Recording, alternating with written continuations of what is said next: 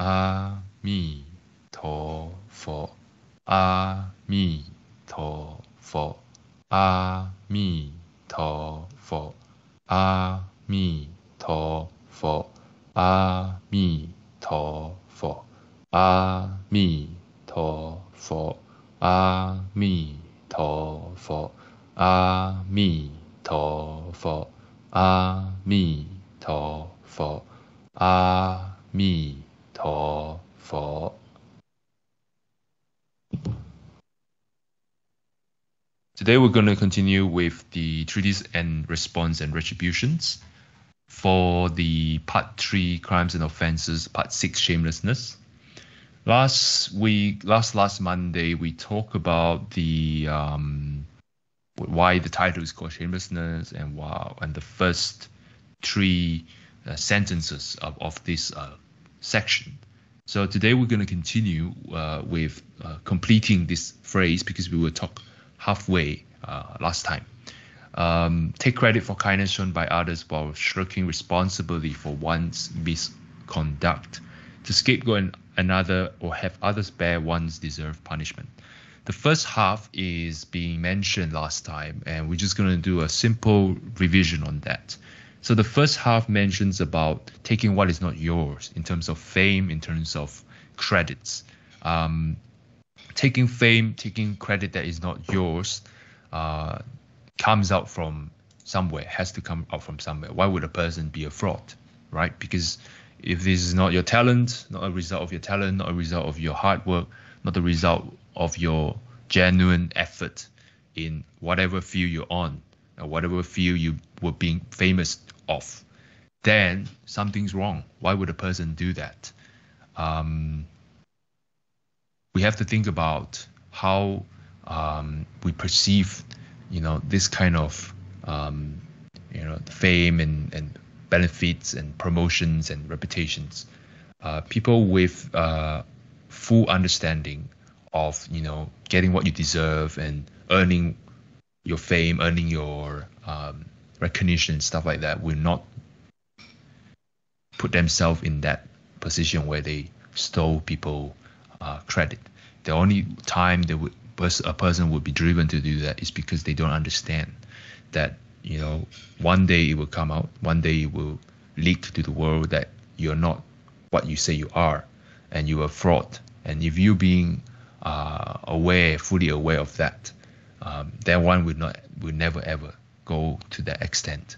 Um, so taking credits of other people uh, for all the kind deeds or good deeds of other people is just um, not there's no benefit other than what seems to be a short-term praise or credit or promotion. But in the end, when you're being exposed, you will be exposed one way or the other. It's it's a fraud, and everything will fall apart. So it's a waste of time. It's a waste of um, it's a misplaced kind of effort. Uh, and if we understand that one deserves fame or deserves um, some sort of a respect reverence because of what they genuinely did in their own line of work, in their own daily life. And they, they do that without thinking about trying to take recognitions, accolades, or uh, praise and stuff. They're just genuinely doing that. Eventually, people will hear about them, word of mouth, and eventually it will be famous. It's a byproduct. It should not be an end. And if you put hard work on something you do, then you, naturally you will gain it. So there's no room for this kind of behavior, um, to be honest, unless um, you know one was not aware of this kind of um, thinking or teaching.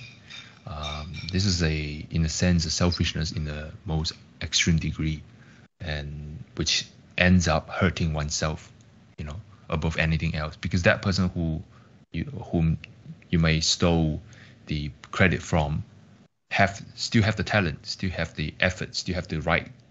They are genuinely trying to do good by whatever means. I mean, whatever uh, community they serve or organization they serve, they will still have the fame one way or the other.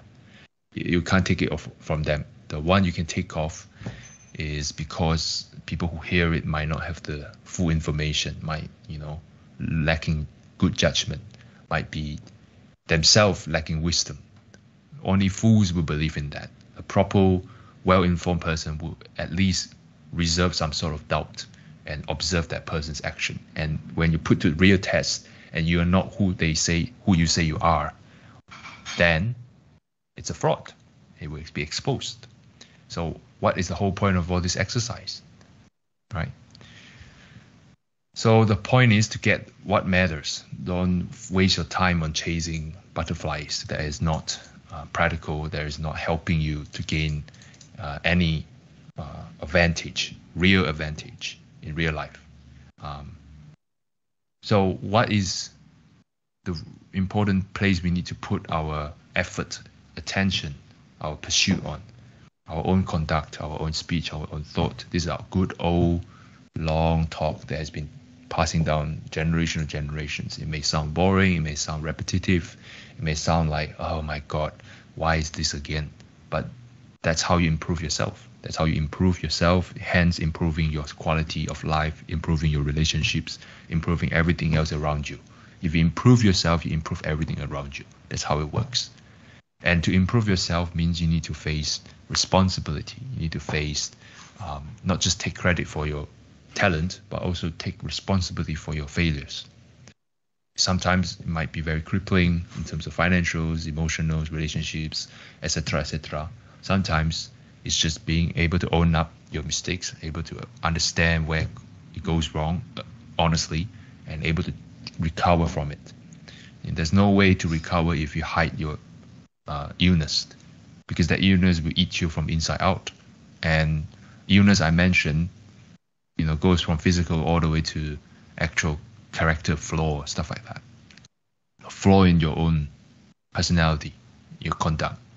Being aware of that, being uh, uh, understanding of that, you know, understand that you can't immediately change it, but understand that you need to work on it. Understand that your action might not be uh, wholesome, and you need to work on it. It's very powerful, right? It's not saying that one should be perfect. That is a goal. That is an ideal. No one can achieve it in one lifetime, right? Buddha takes many lifetimes to cultivate to become perfect. It's not one lifetime. And we have so many, so many, so many to go. Even you become in Pure Land, you're only helped by the Buddha's 48 vows. You yourself needs work as well. It's just you being elevated temporarily by Amitabha because of his promise. And and we go there, we still need to fix ourselves. There's no other way around it. You can't beat around the bush. It's just a better environment to fix yourself. Like a garage workshop versus a industrial level workshop. That's the only difference. Still need to fix yourself and still need to go down here and still need to go through all sorts of tribulations. Otherwise, how can you be a real deal? That means owning up mistakes. That means also recognize where your strength is. So those are balance. Recognize your strength, owning up your toxic nonsense or mistakes. Also, understand your strength, use it properly, use it in the right place, use it at the right time, despite your weakness is also important. So plus and minus. So that's what should be focused on. You know, what's your strength? What's your weakness? You know, what is your temptation that you are most vulnerable of? What is your most powerful, most shine uh, brightest? What, what area where you shine the brightest, best? At the same time, can it be a double-edged sword that might also open up for uh, like you know making you uh, easily succumb to some sort of indulgence, some sort of habits. Those are very honest talk you we need to have to our, with ourselves. We might have some help with good friends that are able to see through this, see you through this journey. That's a journey everyone would take, no matter what form it is. Otherwise, there's no uh, can't break through the shell. So that's the opposite of this attitude. Uh, take others' credit and push your responsibility to others. Second half is to scapegoat another or have other bears one deserve punishment. Pretty much the same kind of attitude. Uh, you know, people putting people as your um, in Chinese is to bear the black wok, 背黑锅. It's a very direct word. It's scapegoat basically. You know, have someone taking all your mistakes and have you taking all the glories. Uh, I don't, I'm not going too much on that because it's the same. Um, yeah, like I can see why people would do that because they fear, you know, punishment or consequences they have. and that consequences will come, whether you're able to scapegoat other people or not. And in fact, you scapegoating other people will add more punishment to you. You're supposed to have that level of punishment, and it becomes double because you push your punishment to others. Hence, you got interest. Interest arrear on your punishment. Basically, double, triple, quadruple. So you can't run. You have to take it. And when you take it, sometimes it actually gets lighter as you as you experience it. In the heaviness, the weight, the weightiness of life, the heaviness of life, the crappiness of whatever happened to you, you will eventually subside. You'll get better and better and better. Only when you're able to be aware of the rules of the game. That's why we have this session. We are talking about the rules of the game called life. It is a game in a sense. Not that you shouldn't take it seriously, not that you should, you know, uh, mess around, but it is a game. Playing a character, getting through this level, another level, and you know, fail the test, restart. Either when you're remaining lifeline in this life or next life. So it is a game in a sense. And if you fail the test again, try again, try again, try again. And that's the only way. You know, experience a little bit, a little bit. And Buddha is the person who have fully understand the game and fully skillful at the game, have passed all levels, and then went back and helped those beginners like us. So punishment as well is part of the game. You need to take it because everything you do, more or less, will cause harm to yourself or others, to your thoughts, speech, and action. Is the output of your action uh, of your existence. You know, when you exist, you have these three outputs. These three outputs inevitably will create good and bad actions. Good actions benefit people. Bad actions harm people. Simple, straightforward, right? Obviously, I'm simplifying it. It can be very complex. There are actions that might harm people in the outside, but actually benefit other people in the long run. Liao Fan has explored about that. I'm not going too deep on this, but the general idea is whatever you do will leave a trace behind, and that trace, whether it benefits or harm, will go back to you. You know, actions and reactions, and this will bounce back to you. And that's why we have the concept of punishment rewards. It's not some sort of God from high above suddenly granted you this ability. It's you yourself have this have this mechanism inbuilt in every one of us, not just living beings, unliving beings. That's why the science says reaction and reaction. Energy can only be de- transferred, cannot be destroyed. Those things are, you know, rules of the universe. Same goes for us. Us as a part of the universe, we need to bound by this rule, and hence cause and effect. It's just another way, another way of saying the law of whatever thermodynamics. Uh, so everyone has that. You know, whatever you do you have traces. Whatever traces you left, you need to take it back. And the, the, the job is to convert those reaction to be more beneficial towards you. That means you need to output more better energy, better actions, better energy in terms of your speech, in terms of your thoughts, in terms of your actions. There's only three outputs you have as a human beings, as a living beings. You can have. And these three outputs, if you modify it to the best, highest degree, that means a lot of work, a lot of pain, a lot of self-reflection needs to be in there, and a lot of patience, a lot of, uh, you know, process. It's not that simple but it is how it works if you want to get a better outcome. This life next life. Believe it or not doesn't matter. Gravity works regardless you believe it or not. It is how it works. 365 days the earth will not stop because you feel bad or feel happy. The earth will keep spinning because it is how it is. Same goes for law of karma. Don't care about your belief your faith your disbelief or your belief or whatever kind of mindset or whatever your brain is wired about. This is how it works. It will keep spinning. It will work like that. The wheel of karma will keep going. The only way you can do it is understand the game, recognize it, observe it, and able to play by the rules and able to go beyond the rules. And that beyond the rules, I can't teach you. You have to realize it. This is enlightenment stuff, right? So back to these, you have to understand the rule first and understand how, how we work around this. There's no other way other than sincerity. You know, your output, if it's a pure output, which is sincere thought, sincere mind, sincere thought, sincere action, sincere speech. It's genuine. If in business, people would like to be conduct business with you. In relationship, people would genuinely open up themselves to you, hence forming a genuine relationship. In your school career, in your in your studies, you know, you genuinely want to contribute to this field. Obviously, you will get right, uh, you will get the sort of uh, findings that are true, not fraudulent. You'll find the colleagues. Sometimes, uh, you know, you'll find the right person. You attract the right kind of person because you're actually looking for something genuine. Same thing. 一份曾经的一份的利益,十分曾经的十分利益,万分曾经的万分利益, as Master Yin Guang has mentioned, one ounce of sincerity gets one ounce of benefit, real benefit. Ten ounce get ten ounce of benefit. One hundred tons of ben, uh, one million tons of benefit, uh, uh, sincerity, genuineness. Uh, you get 100 tons of benefit. And this is how all the gods and deities and Buddhas and Bodhisattvas granted you. You only can take so much that you can receive. Right? They, you only can receive so much help that you get able to take it. Right? If I'm a power lifter champion that can carry 100 kilogram, I want to help you to be able to achieve as well as I am in this field. I can't just suddenly throw 100 kg on you. You will die. You will start with 10. No, not even that. You will start with a pole a pole that already weigh 25, 20 kgs. You need to start working yourself up to be able to receive the weight. I can teach you the best techniques. I can teach you how you avoid injuries. I can teach you the best time. I can tell you to, you know, eat better, eat this and that nutrition. I can tell you to have the routine.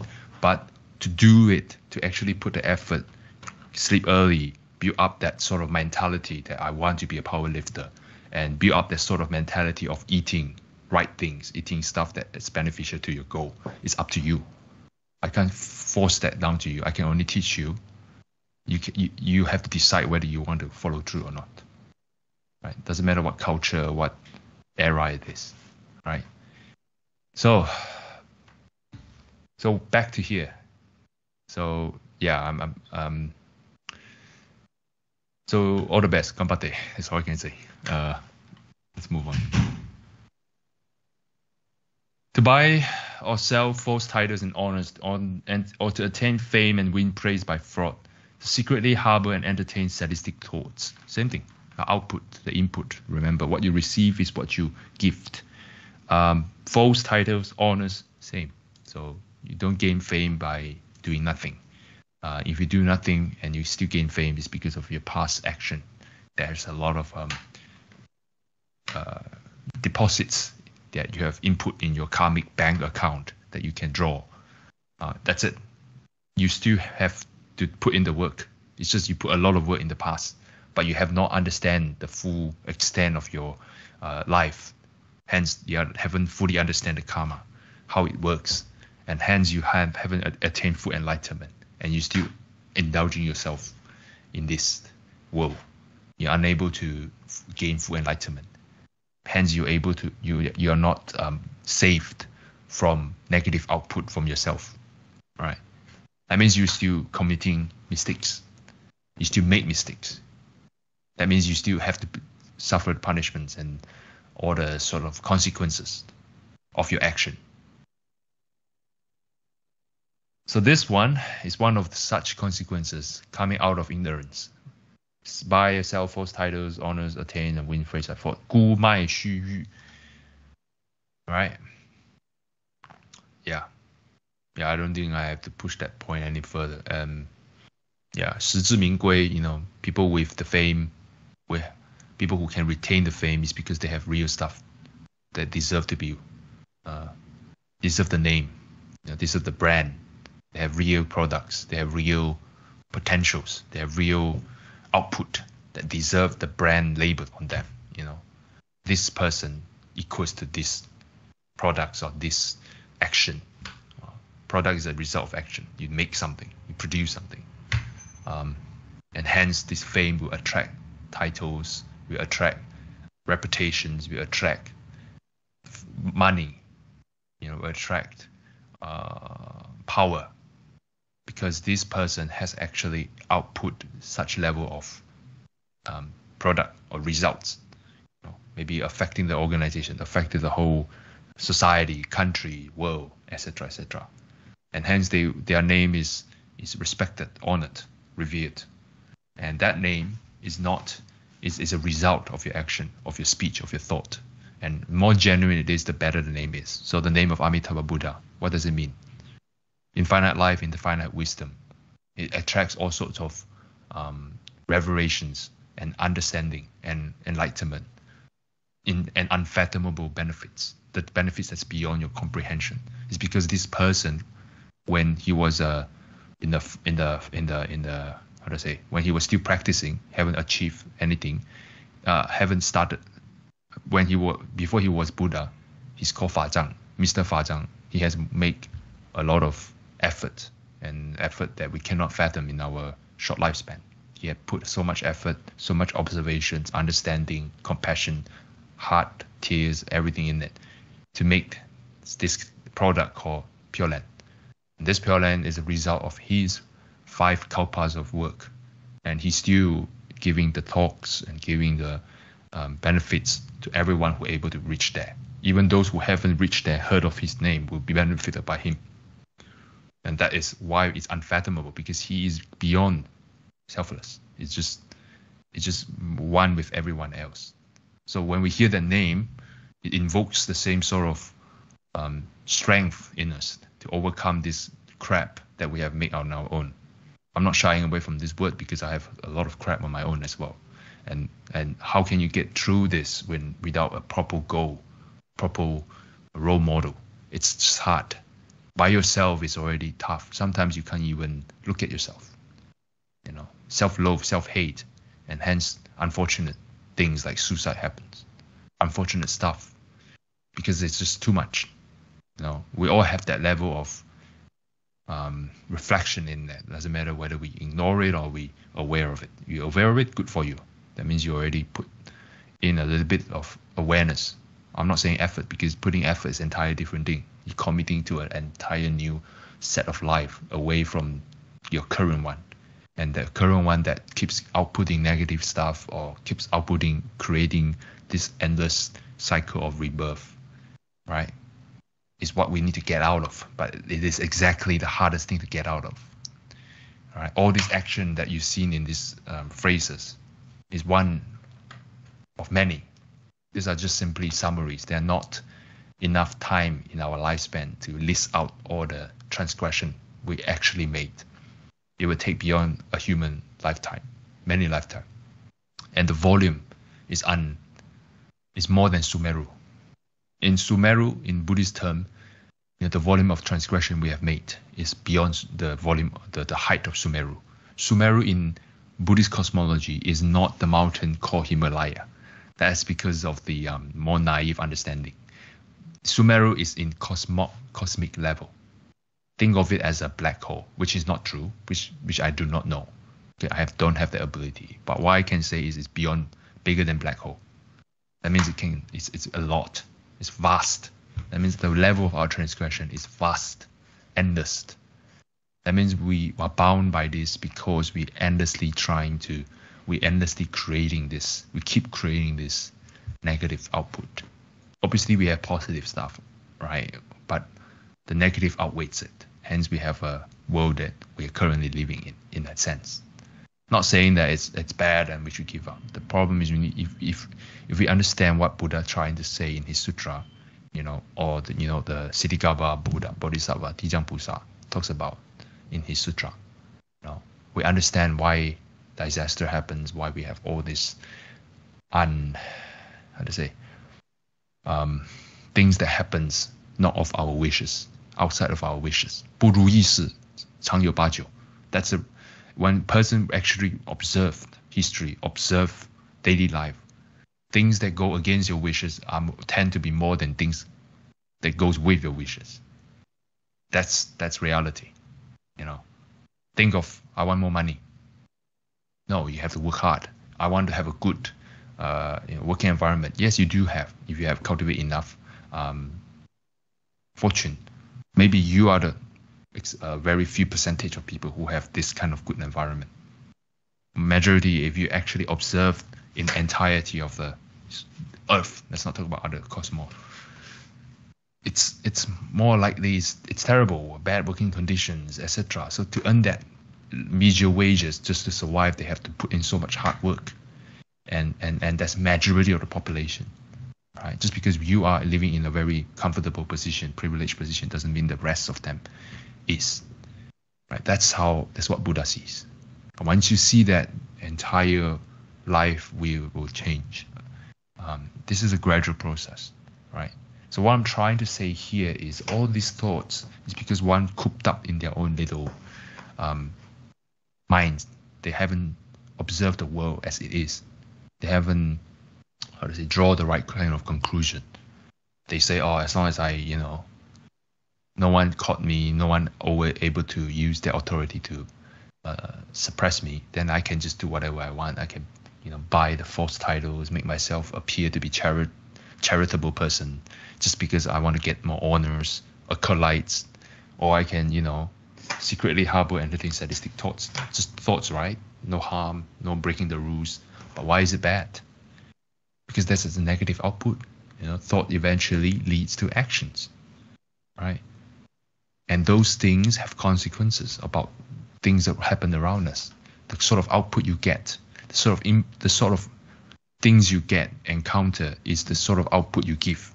You get what you give. All right. Reap what you sow. You can't have watermelons if you're just putting uh, major efforts. You can't have you know fruits if you don't even Uh, bother to water it or even put the right seeds. If you don't even have the right seeds, how can you right get the fruit that you want? You can't.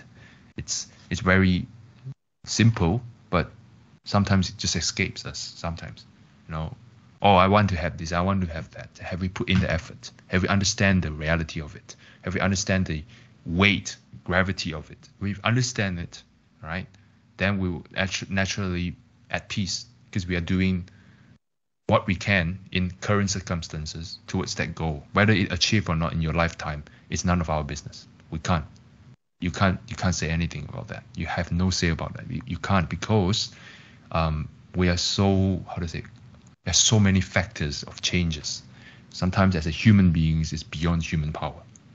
All right. What you can do is maybe bring out that intention, that thought, put in some real effort yourself as a proof that you're committing towards this goal. And people see that you are uh, quite genuine despite your flaws. You're able to power through this, or you still want to be in this game of achieving this goal. Say you want to build a company that produce good stuff. Those are worldly desires. Or you want to go to Pure Land, you commit this, uh, that, this, and that. Of course, you haven't done the real work yet. You're just doing the surface of it, but you are actually heading towards that place. You want to get there, and you haven't even you haven't started on yourself yet. You already have the intention. That's the baby step, pre first step, not even first step. But there's a step, something like that, and then you need to push yourself further with the right conditions. Someone else, you know, giving you these opportunities or some some some place, some organization open up the venue for you to continue pursuing this and you grab it tight and grab it right then you will eventually have the right condition to grow into the desired destination you want to achieve. That's how it works right? So so same worldly or otherworldly world, worldly desire or gaining enlightenment same same thing. You still need the right condition but you need to have the right cost intention first. Um, so harbor entertain sadistic thought obviously is against it, right? Person with bodhi heart will not touch that. It's against it. Why would someone have harbor entertain sadistic thoughts? Pleasure. Why would it gain pleasure? Perversion. What kind of perversion? Something against your understanding. Something against your conscience. All right. Something that only tickles your five senses. That's perversion, because that is five senses is a result of your true nature, of your of your essence. And that I don't know how to describe it. You can sort of say whatever name that is God or Buddha, nature, stuff like that. Um, you know, it has been going through so much rendition, so much version, uh, so much twist and turn, and it has perverted into something different. It was still part of that source, but it has been. Think of it as like a horoscope, horoscope, horoscope, no horoscope. 万花筒怎么讲？Kaleidoscope, kaleidoscope. Basically, you put in one piece of paper and then that thousands of mirrors will reflect it differently, hence creating a mosaic, mosaic patterns or flowers. You know, those patterns of uh, keep changing every single rotation you made. So kaleidoscope, right? Those kind of scope is basically reflecting our situation. You have one essence, that's it, nothing else. Everyone's essence is the same, same source, right? But it was being split into thousands of images. It still does not touch the source. The source is still there. It's still the same thing, doesn't change. But it has been perverted into thousands, thousands of good and bad. All right. The one that is closer to the source still retain that original look, good and stuff like that. The one that has gone further and further away has perverted and perversed into something strange entirely. And this is one such issue, you know. Harbor entertains illicit thoughts. So our job is just to go back from there. You know, don't entertain it. This thought sometimes might come, uh, might give rise because of our, um, like I say, a lot of, a lot of wandering thoughts coming out. Those are one of the wandering thoughts. You can't stop it, but you don't have to entertain it. You don't have to even, you don't have to give it a credit of existence. You know, just just ignore it, be indifferent to it. Focus on what is important.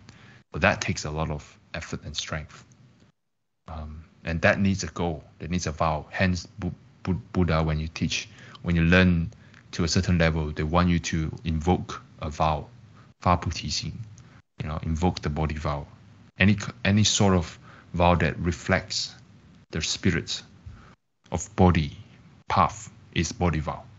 Uh, what is what is putising? So in Master Chin Kung mentioned is sincerity is the heart that wants to do good.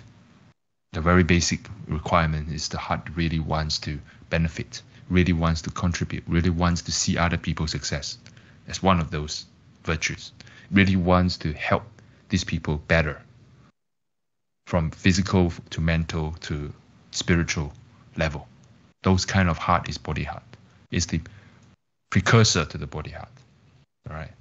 It's the catalyst to the bodhi heart. It it has to start there. Start from being good, right? It has to start from there. Start from wanting to complete other people, your siblings, your friends, your enemies as well. Even, you know, they might be your enemy in in career or in battlefield. You also want to better them, you know, because of them you get better, and you want to give them sort of challenge so that they can get better.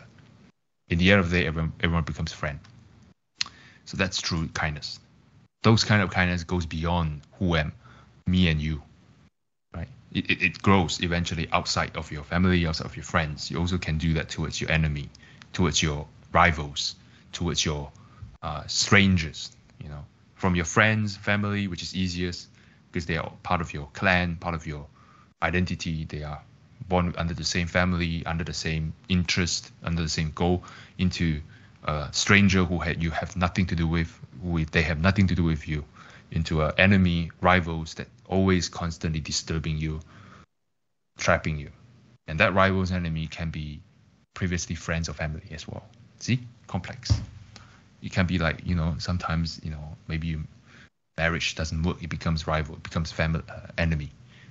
And that also needs to change you need to complete them you know? and that means you need to be patient you need to take it you need to understand why you take it you need to understand that it's painful. You can't take it anymore. You still need to take it. 人人之所能不能忍，行人之所能不能行. You cannot get enlightenment without going through this. You know, you have to be patient. Those normal people can't be patient of. You have to be patient of those things that normal, ordinary people that cannot be patient of. You have to do those things that normal, ordinary people cannot achieve, cannot fathom of doing it. You know, like Master Chin Kung, kneel down and let uh, his bully student slap him in the face. I was like, what? Why would I do that? I would punch back, right? That's what I would do. But Master Chin Kung doesn't. When he started to see he's going to be bullied or being punched, he immediately lie down on the floor and let the other side punch. However, it takes two to tango. He just that that, that bully student can't even do it because there's no reaction. So it's just one-sided affair. Eventually, he I don't know ruffle a little bit, but he can't do it. It takes two to tango. There's nothing to go against the other palm to clap. So so eventually he becomes his friend rather than uh, a lawyer, uh, enemy or bully. So this is wisdom, and this is how bodhi heart is done. You know, so start all start from you know, do good by others.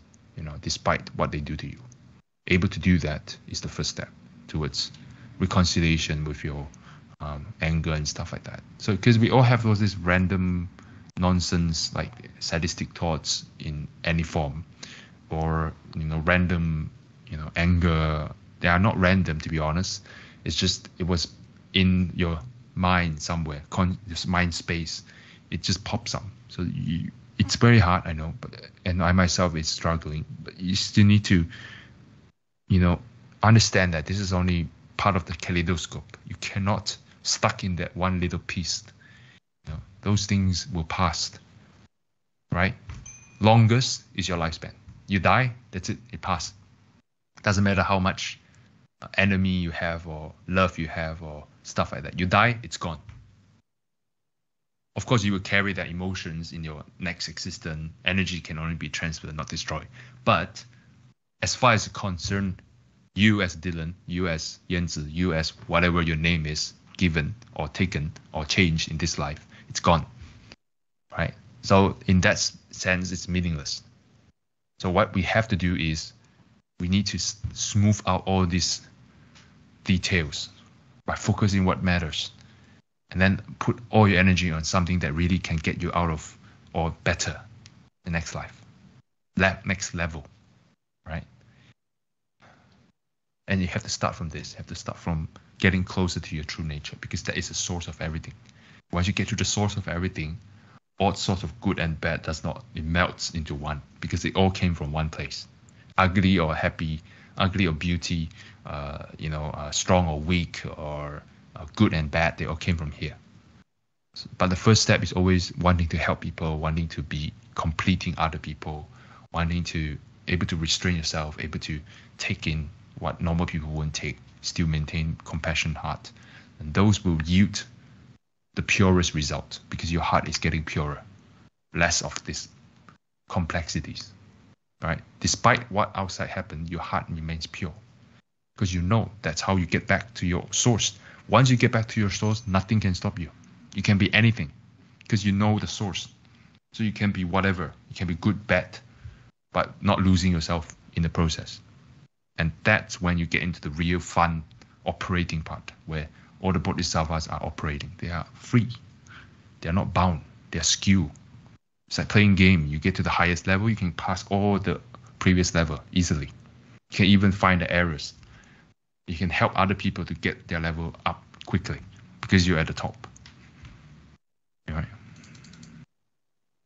At the top, it becomes most basic, most fundamental because there's only one piece, one piece of thing. There's no thousands of complexities. 最复杂的也是最简单的，something like that. You know, the, the, I sound like I know it, what I'm talking about, but to be honest, I'm not there, so I don't know. What I can say is, it's like that. The higher you get, the simpler it gets. The less muddy mind you get, the more clearer it is. And when there's nothing happen, you don't think of anything. 般若无知，无所不知。Right? Prajna Paramita, the, the, the, the wisdom of the enlightened one not common wisdom, the wisdom of the enlightened one, prajna paramita, or the bodhimito. So paramita is wisdom, but not just normal wisdom, a wisdom of full view of the entire existence, of all kinds, the full understanding of universe of and yourself, right? You in relation to your universe and the universe around you, which means other people, other things, other earth, stuff like that. Those is because you get to the source and understand. It's simple. So when you, nothing happened to you, you don't think of anything. You don't harbor any thoughts, good good or bad. You're at peace. When things happen, people ask you question, throw some sort of reaction or action to you, output. You can see it very clearly where it come from. You can see immediately what where it affects you. You won't see I being offended. You will see, oh, it touches my heart. It touches my hate. It touches my anger. It touches my sadness. It touches my happiness. I have emotions, but emotions reacting to it. You're able to see that level while still playing that puppet. I mean, that goal. You're still doing this mach- machine things of things, but you you're no longer bound by it. Right? You're not a machine, but you are beyond that. You're not absence of it. You're beyond it. That means you uh, you have all this equipment, emotions, sensors, and stuff, but you're not bound by this sensory. You're able to see it clearly, like you see TV. Oh, he's crying. Oh, he's crying. I feel sad. And after that, I realize it's a, it's a show. You still be sincere, but you're not there. So it's hard. You cannot put words into this level. But something I share because it's something is, it's it's, it's a very free, liberating life.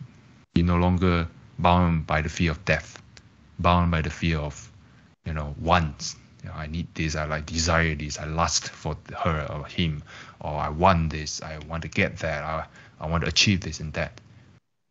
But as of now, we are not there. We still need to do what we need to do, pursue what we want to pursue. All we can do now is understand there is a state like this, and we can attain it right now in a common people level in one lifetime because those things, those level takes thousands of lifetime to achieve. And we already have thousands of lifetime behind us. Right now, we will have thousands in front of us. Whether we want to make it a nice shortcut or not, you also need to put effort. It's, there's no shortcut. The best shortcut is to put in the real effort into it. All we can help is this kind of condition. Amitabha give you a quick, better way of using your effort.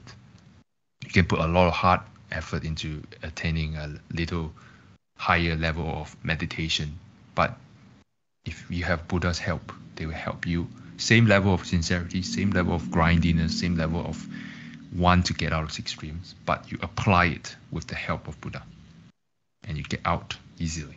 However, there's still have to there's still a long journey from here to there. You still need to work on it. It's you can't escape real effort, no matter what you do. You know, genuine effort, genuine want to uh, to to be uh, liberated from your condition, and understand that you are your you are the creator of your own becoming and unbecoming. You are making yourself who you really are, whether you're aware or not, conscious, unconscious, subconscious. All right, and understand you and others relationship is helping you as well, making you come to terms with, you know, you don't have to be too attached to yourself in a way that you thought you are. You are not always this person. All right. Understand this teaching will help you, you know, being able to compassion because they are also part of me. Whether I'm aware it or not, uh, I will work on that. But I do know that, you know, what they seek, I somehow seek as well. I seek peace and solace. I seek happiness.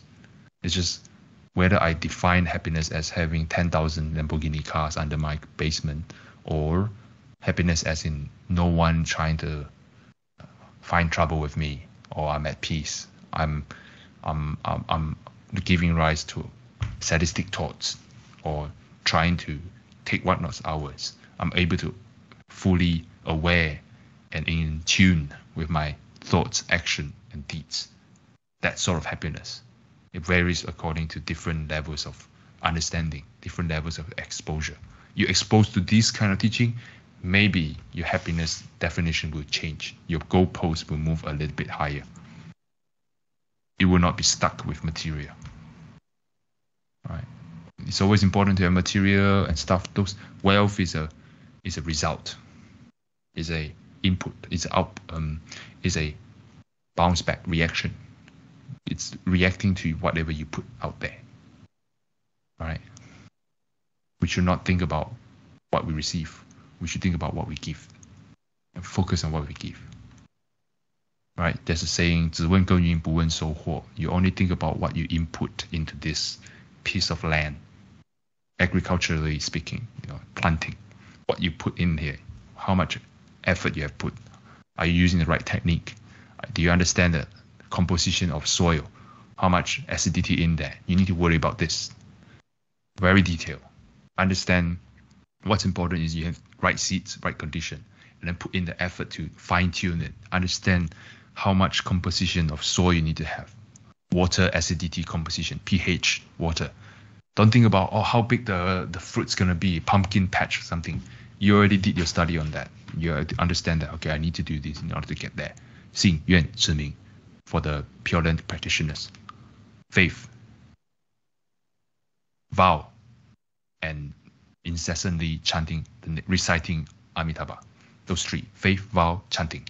Faith, vow, chanting. Those are three recipes. How fine tuned you are depends on how high you get. But you need to have faith and vow. You want to be a Buddha, number one, because you are a Buddha. By like a kaleidoscope, your nature is one. But you're already being twisted, perverted into thousands, thousands, thousands of variation. Hence, you are very far removed, even though you have that.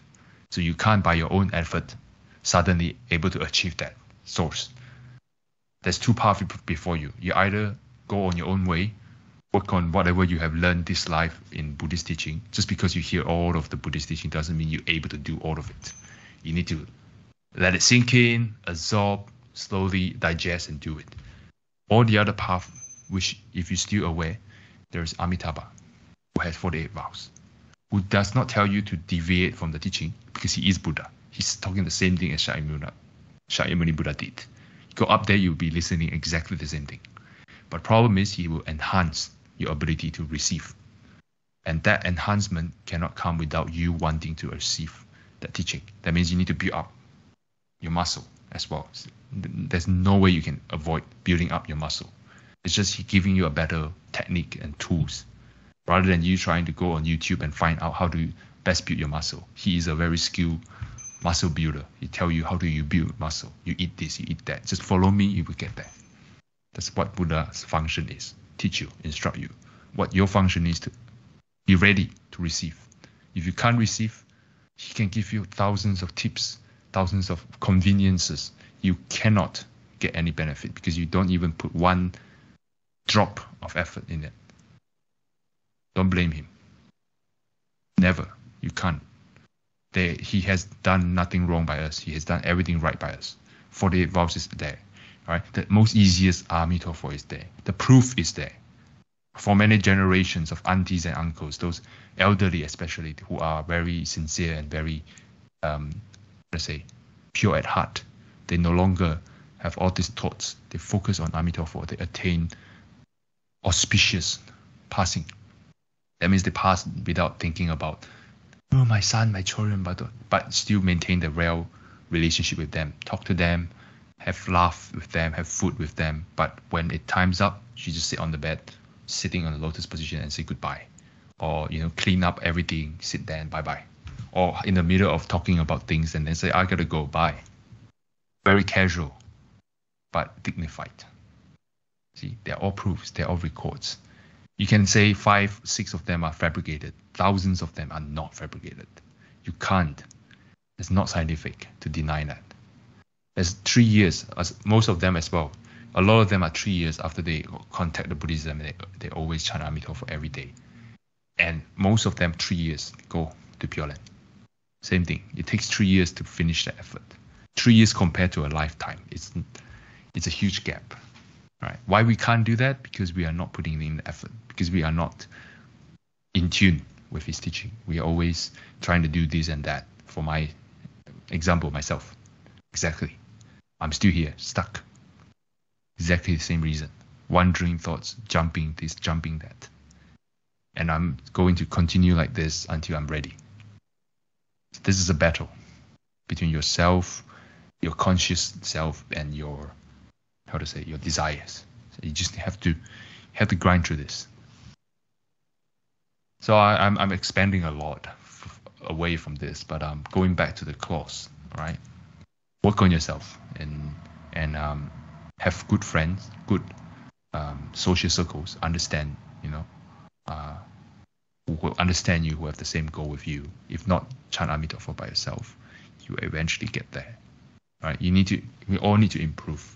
From pursuing toys to pursuing expensive toys to pursuing uh, luxurious travel and to pursuing better career and then enhance into pursuing uh, you know more spiritual stuff you know you are stable on your material needs. Now you need to go beyond material needs. You cannot just stuck in eat good sleep good uh, drink good uh, wear good uh, wear good stuff or appear good look good. Those are not enough. You know you need to go beyond. You need to do good. You need to give good. All right if you're advanced you don't even need to go through all that. You go straight into i want to contribute good to other people. Eventually you will receive good things on yourself um, understand that no one would do this kind of false title sell because there's no need they, they, they know the roots of all fame and fortunes is your own merits all right good fortune 福报是要有功德做底的 all right merits meritorious means you have a merit of receiving this title entitlement right you have done say in bank 10 years service you get entitlement better leave in karmic terms same you have the merits of doing these good deeds earnestly you don't ask for anything in return you will receive exactly what you don't ask for in return you know the good stuff you know if you yearn for good children you will have good children be born into your family they will continue your bloodline. They will make your family better, physically and mentally. You know, does not give you a lot of headaches. The child that does not give you headaches. That is a very hard ask. If you don't have that sort of merits, you will not attract that sort of people in your house. Same, you know, um, you you just do your job. You're just trying to trying to contribute as much as you can outside of your daily livelihood. If you can, do more. If you can't, always have that thought ready to go. And even your mind might not cooperate with you at the moment. When the condition comes in front of you, you have to get take it. You have to, how to say, you have to allow yourself to be malleable. Like, if I can contribute that much, I will contribute that much. However, give yourself also a right kind of break. I'm getting too detailed here, but what I'm saying is, based on my experience, between pushing and giving yourself a break, you need to have the nice balance. Otherwise, you will break, and sometimes overdone it, you will regress a lot. You just shut down and not doing anything. So action is always coming out from intention. However, there's a lot in your mind. You can't have a pure intention, unfortunately, straight away because it's habit. So what you need to do right now is to take what you can in your current life, in your current condition, and trying to inside and outside, trying to cooperate. External factor in your internal mental state. You have to cooperate. You have to have that sort of bottom line. No matter what happened, no matter what my mood and my thought is, I will try to get this action see through. I'll try to get this through. And once you do that, and if you have that fortune, uh, how to say, if you have that impo- uh, uh, momentum, and you're able to cash in on that momentum, then you will be able to put yourself in a upward um, movement. That means you are able to do more good, and the purer you get as well because you do the homework at home as well as you like this you know you're sharing with other people. So this kind of thing um, you need to keep your eye open. And if there's an opportunity take it. And um, but most importantly do not do not allow yourself to sink in and say oh i did this i did that i'm good do encourage yourself and appreciate any sort of encouragement but do not be um, indulging in it. You know, um, understand what really matters. Right. Right now we have a goal to Pure Land, and no matter how well your life current is, you know, you will come to an end in this mechanical body. So what you must do is able to um, do what you can and you know take a moderate break. Moderate? I'm talking to myself. I'm not moderate. I'm extreme. Um, and able to come back back to the purest part. Beyond these obligations you know talk this talk that. Those are all just action those are helping you but they're not the main thing the main thing is are you able to let all this go immediately when time comes just Amitabha all these are just preparation work, just helping you to, you know, talk yourself into it, like what we did. Master Chin Kung, he has very um, smart, you know, outlook in the beginning. He understands he needs to put in a lot of effort to convince himself. took him until 80 years of age to convince himself to chant Amitabha. His teacher has been starting to ask him, you should, you know, focus on Pure Land because it helps you in one lifetime. He was 30, early 30, mid 30. I forgot. He became a monk at 30, still under Master Li, who is a lay Buddhist, but a very achieved person, enlightened, I would say. Took him until 85 years to fully receive Pure Land teaching. Fully, guys, fully. 100%, no doubt most of us we might like, oh yeah, I encountered this early. I'm willing to chant Amitabha early. We have good roots, but like I say, fully, hundred percent. If anything happen, you can drop all this family, this dharma talk, whatever, everything drop, chant Amitabha. That's how strong it has to be. He's willing. He's able to do that. That's how powerful we need to have that. This is what matters the rest has to line up behind it. I'm not saying they're not important. Taking care of your parents, taking care of your family, taking care of your wife, your children, your husband, those are good, important stuff. Taking care of this temple society, but those are second to Amitabha. Second. Because nothing of that matters when you pass away. Nothing of that will help. You can't help them as well when they pass away no matter how much your emotion wants to, loves to, likes to, no point. It's time, time is up, time is up. Obviously, while you have this condition, you do it properly, you will garner fortune, good fortune, good merits that will help you in your pursuit to pure land. That's why it's Buddhism is always rounded. They're never sharp edge. There's no sharp edge in Buddhism. The only sharp edge you need to have in Buddhism is to is a determination to really work towards cutting off those um, those incessant 烦恼, you know, incessant um, affliction in thoughts, in, in speech, it, affliction, yes. But this inflection, affliction is, if you put it that way, affliction, this like this one, statistic or anything, is also part of your true nature. It's just perverted. So technically speaking, you don't really cut it off. You just convert. You know, it's so it's an energy. You just need to like 招降 in Chinese in a military term. You need to convince it to surrender, submit to the will of your true nature. Sound like that. You know, submit to your will, not the other way around. Those may be bandits, you know, in a Master Yin Guang's term, you know, the old military terms those are bandits, you know, hiding in mountains, causing troubles, and you, your your your conscience, your your um, your bodhi heart is the general inside the camp, trying to create peace in that place. Your job should not prioritize on killing the bandits, rather should be neutralizing, able to. If you can reduce the killing, you should reduce the killing. See, it all in accordance to your true nature.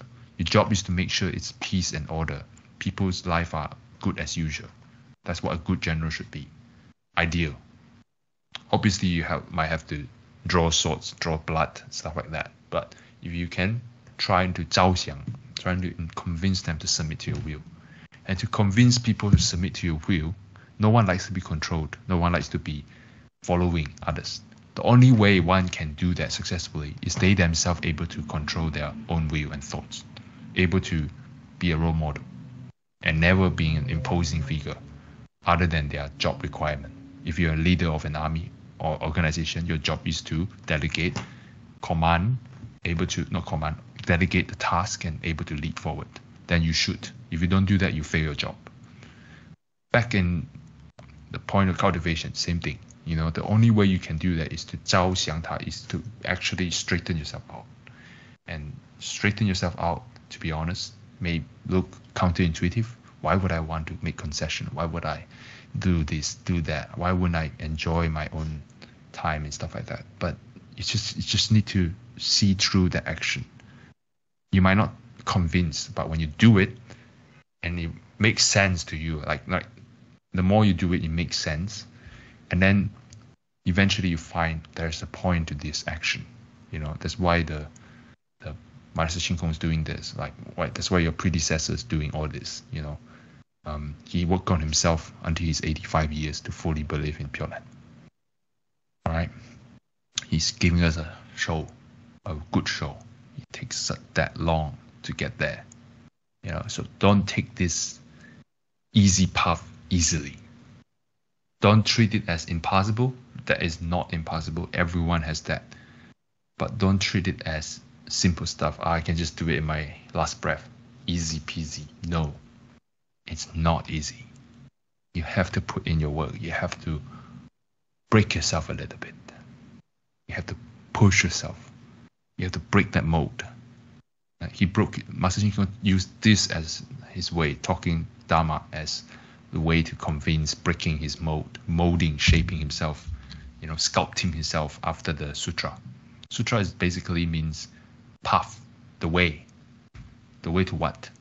Buddha Sutra, the way to Buddhism, the way to become Buddha. You know, Bible, the way to 圣经 in Chinese is the, the, the sutra of, if you use Bible in direct translation, the sutra of sagehood. Same thing. All right. Uh, Quran as well, the, the way to attain that. I don't know how to explain it, but it's the way, right? So, so basically, back to the the point right here. These are against the way. They go against your thoughts. Hence, it's a bit. It's it's it's easy to get yourself caught up in the whirlpool. So you need to get out of it. I think that's it. We finished these two sentences. Next week we'll finish the last two then we'll continue. Um, this is a long, there are 100 phrases, so no point rushing it. Um, the first two, these are the two sentences I have um, covered today. Um, you know, I talked so long. The whole summary of this um, is all about be honest to yourself. You know, um, what appears to be um, unfathomable, like why would I give concession anything? Give a bit of space, let it grow, uh, put in action, see if it works. You know, like, like when you used to be easily angry because of someone's rude remark, now you become more kind and more caring. You be more tuned to their needs. Like a person is rude because they do that.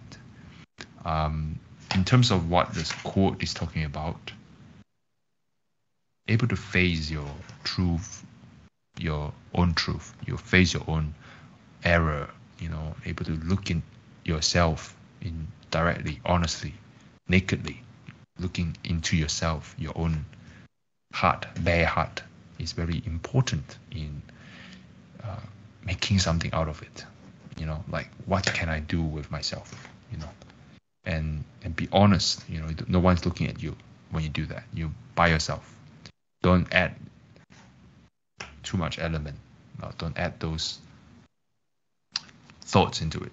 Yes, you need thoughts, but that thought needs to be using as an analyzer, not emotion, not um, impulse. You just need to look into yourself properly and observe yourself when you're actually dealing with others. How you instinctively act is the kind of default, like you, when you go to Windows, there's a default settings. That kind of default settings you wired yourself so far where you are so far, right? That's when you actually put the test. You understand, okay, this is how I act when this happens. And observe, just observe. You can't suddenly stop. You obviously, if you can put a break on your extreme behavior, go ahead. Or just look into yourself and understand this is my default state. Something needs work. How do you know something needs work? Is this harming people? Is this helping people? Is this harming myself? Is it helping myself? Right? Is harboring this kind of mistakes helping myself? It's like saying that I have cancer. I don't, um, how to say, uh, I don't treat it. Hmm, it's a better way to put that. I have issues and I don't um, uh, how to say. Sometimes you can't immediately solve it. You shouldn't. You shouldn't rush it, but you should always be there, ready to reduce that impact, ready to change it when the time is there. You you can't consciously change it. It has to be unconscious. Consciously, you need you you can lay out the work, the groundwork, but you need to work together with your other half of yourself. Slowly going there. You know, you need to rewire yourself to get there. It's not straightforward. Say, Dylan, don't do this. You can't. Trust me. When when when when real things happen, you'll be default going to the same old path that caused trouble.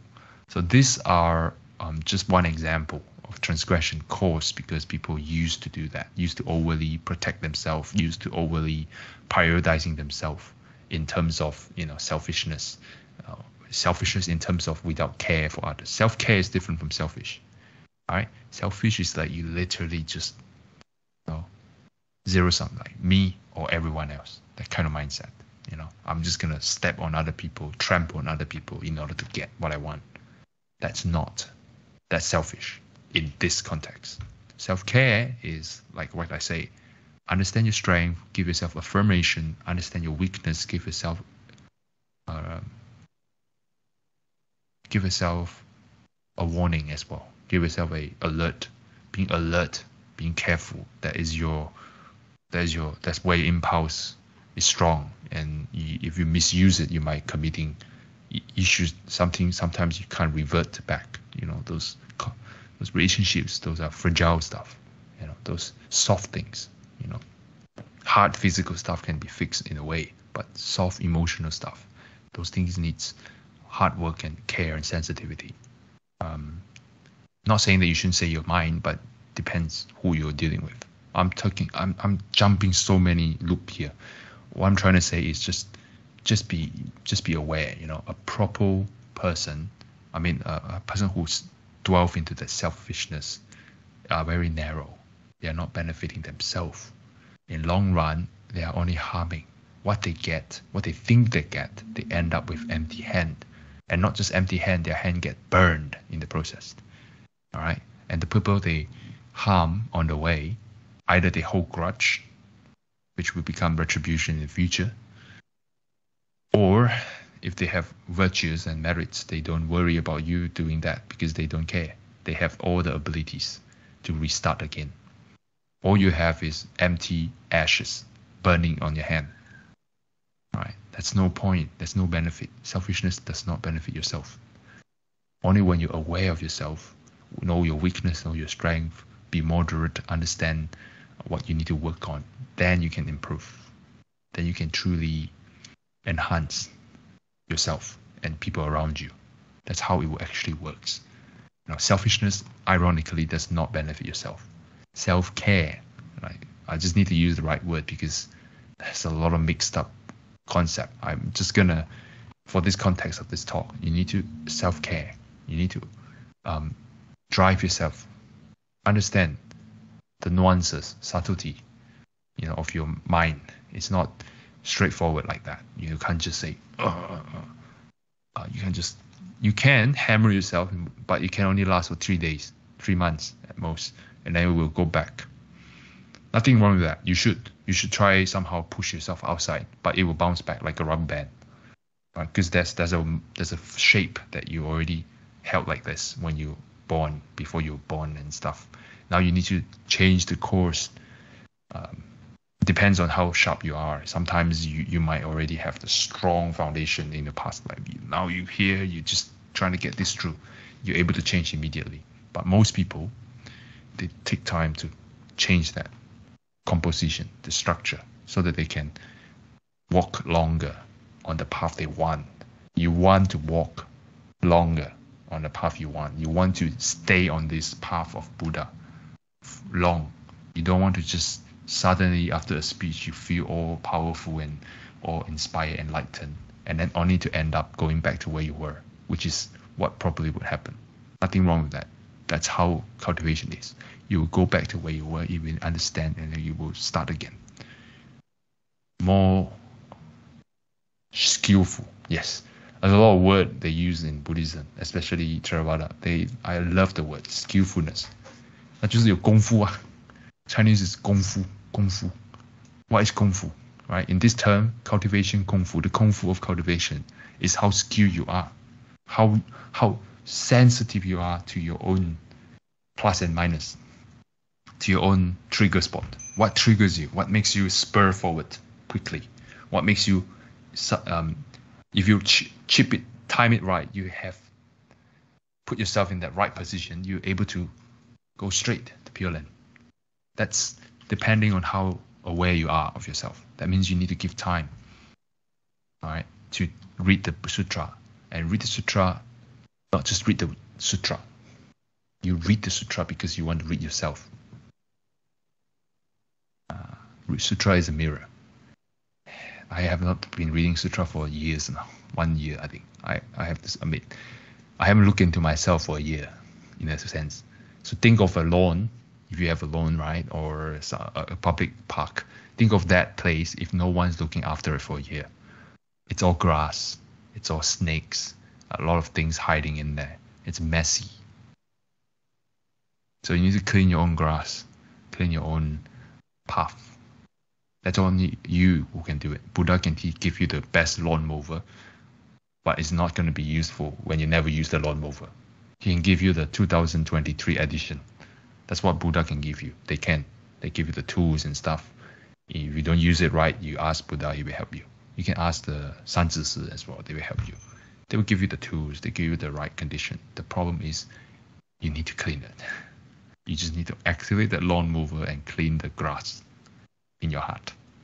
Make it clean. Make it ready when time comes. Remember, Buddhism is also about opportunity as well. Condition, we use a different word. Cause, condition, effect. If condition comes, you didn't able to detect it earlier, on time, and you lose it, I don't know when's the next time. So as far as we're concerned right now is pure right now is our condition. In the more fine way, day to day, maybe you encounter this good uh, teacher that you know this one moment that can help you plant the seed, strengthen the seeds, the, the, the seeds of thoughts, seeds of enlightenment. Maybe because of that, you were able to start to be more reflective of yourself. Your behavior will start to wire towards it, not against enlightenment, towards enlightenment. And that that is crucial. Timing is crucial in that. You need to know when. But how do you know when? You never know when. It will happen. It will happen. The problem is, are you able to detect when it happens? Are you able to spot when it happens? When it happens to you, it's not directly say, oh, here's the road to enlightenment. Have a signboard. Let's go. It's every day, day to day, normal. Suddenly it comes out, oh, that's something, someone, some place, some event. And then whether you take it in the in direction of enlightenment or against enlightenment, it has to depend on your ability. You know, you need to be prepared. If your whole heart, that's the saying say, if your mind is full of grass, 长草,头脑长草. In other words, not stupid, but um, your your mind is muddy. You can't see it. How can you drive yourself towards the enlightenment? You can't. You still blur. You still muddy.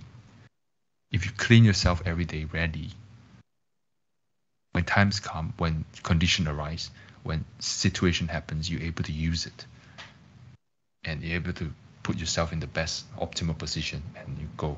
Your action, your deeds, your speech will be exactly on t- on point.